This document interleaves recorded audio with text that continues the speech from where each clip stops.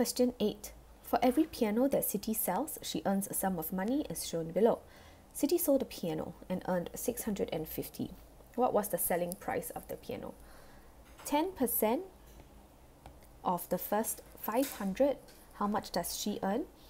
So 10% of the first 500, she will earn $50. Finding 8% of the remaining selling price, she earned 650.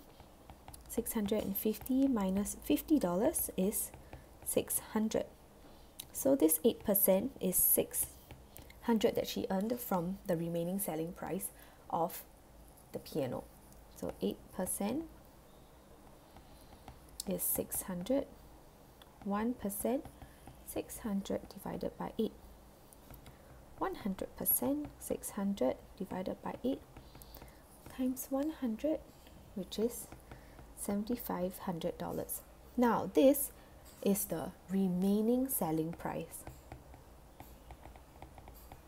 Remember that 500 was first deducted from it.